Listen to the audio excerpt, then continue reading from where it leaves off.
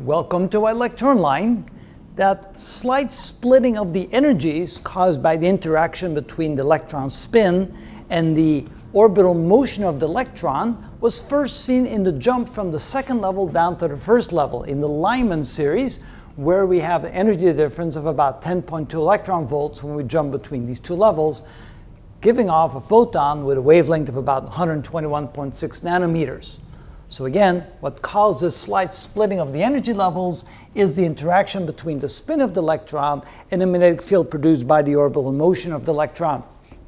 So if we calculate, first of all, the wavelength produced by the two jumps, that can be, that can be done by multiplying Planck's constant times the speed of light divided by the energy converted to joules, of course. So we take 10.2 electron volts, convert to joules, and we end up with 121.6 nanometers.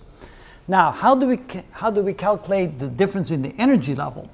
Well, the difference in the energy level will be twice mu times B. Now, what's mu and what's B? Well, B is the magnetic field caused by the orbiting electron, which is about 0.39 teslas. Mu here represents what we call the Bohr magneton. It's the quantity that's defined by the charge on the electron times Planck's constant divided by 2 pi divided by 2 and divided by the mass of the electron.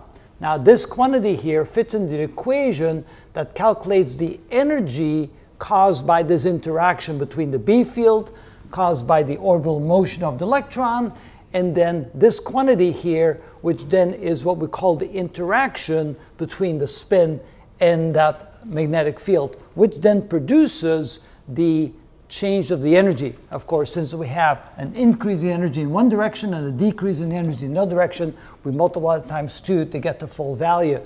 When we multiply these numbers together, this is where the 0.000045, did I say enough zeros? 0.000045 electron volts, or 4.5 times 10 to the minus 5 volts. So the Bohr magneton can be calculated as follows. The electric charge, Planck's constant divided by 2 pi, divided by 2, and divided by the mass of the electron, which then gives you a value of 5.79 times 10 to the minus 5 electron volts per Tesla. Notice that's about the same value because when we multiply 2 times 0.39, we almost get 1. And so you can see that when you multiply all that together, you get the value of the difference in the energy of that fine splitting. And that's what we mean by the fine splitting between the energy jumps, and that's because of that interaction and it can actually be seen. It's very fine, but under high resolution, you can see the slight difference. And that's how it's done.